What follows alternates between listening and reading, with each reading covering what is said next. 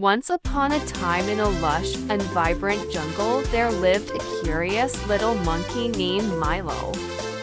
Milo loved to swing from trees to trees and explore the wonders of the jungle with his friends. One sunny day, as Milo and his friends were playing near a river, they heard a soft cry for help. They followed the sound and discovered a baby elephant named Ellie who had gotten separated from her family. Milo and his friends knew they had to help Ellie find her family. They planned and set off on an exciting adventure through the jungle. They swung on vines, hopped over rocks, and crawled under bushes, all while keeping an eye out for Ellie's family.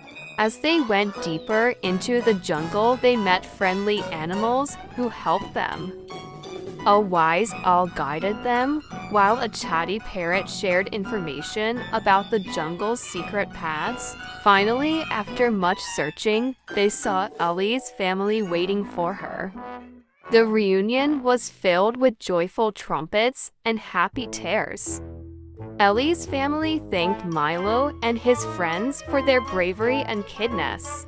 As they return to the jungle, Milo and his friends realize that even though they are small, they could do big things when worked together and showed kindness to others.